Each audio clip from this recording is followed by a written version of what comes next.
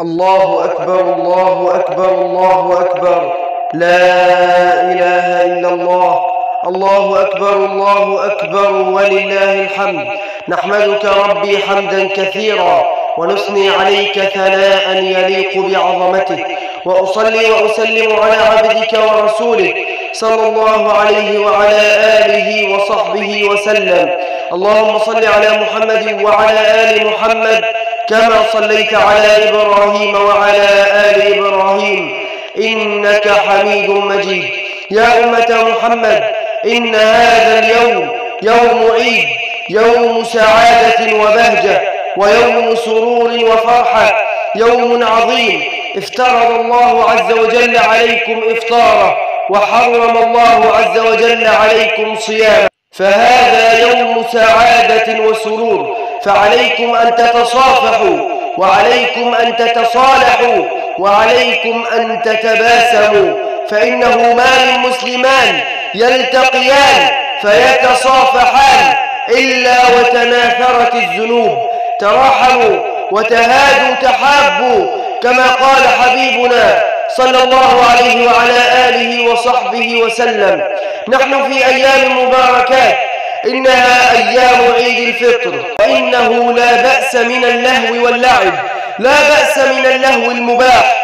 وها أنا ذا بين أيديكم. جئت لأهنئكم على الصيام. جئت لأهنئكم على القيام.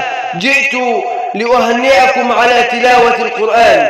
جئت لأقول لكم بأعلى صوت تقبل الله عز وجل منا ومنكم صالح الأعمال.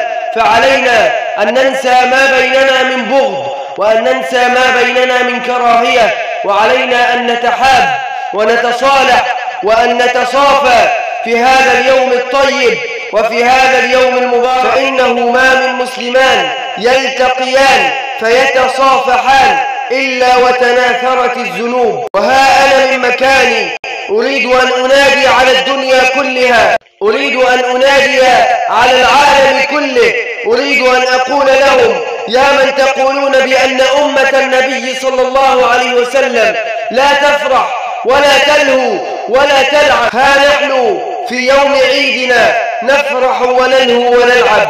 فافرحوا يا أهل الإسلام افرحوا يا أهل الإسلام افرحوا يا أمة محمد. فهذا أمر قد قال عنه النبي صلى الله عليه وسلم. اليوم ذكر لله ويوم فضل وبركة. ويوم حمد لله ويوم تكبير. فقولوا جميعا الله أكبر. لقد جئت اليوم جئت لأهنئكم على الصيام جئت لأهنئكم على القرآن جئت لأهنئكم على القيام جئت لأهنئكم على الأعمال الصالحات. فطوبى لمن غفر الله له فاللهم اغفر لنا ذنوبنا وإسرافنا في أمرنا وكفر عنا سيئاتنا وتوفنا مع الأبرار. اللهم انصر إخواننا المجاهدين في فلسطين.